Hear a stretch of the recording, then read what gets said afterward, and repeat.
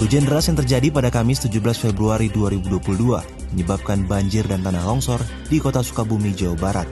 BPBD Sukabumi menyebutkan sedikitnya 68 titik banjir dan longsor di Sukabumi. Akibat peristiwa ini, satu orang meninggal. Hingga Kamis malam, banjir masih menggenangi Jalan Sukaraja Sukabumi. Banjir membuat sejumlah ruas jalan tergenang.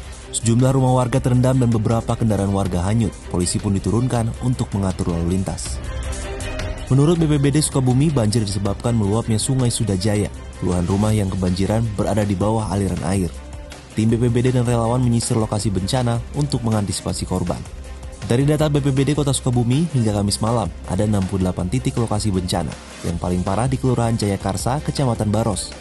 Di lokasi itu seorang warga meninggal dan satu orang warga lainnya luka-luka.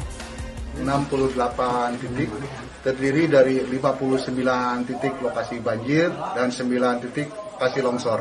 Ya. E, paling parah di berapa kecamatan?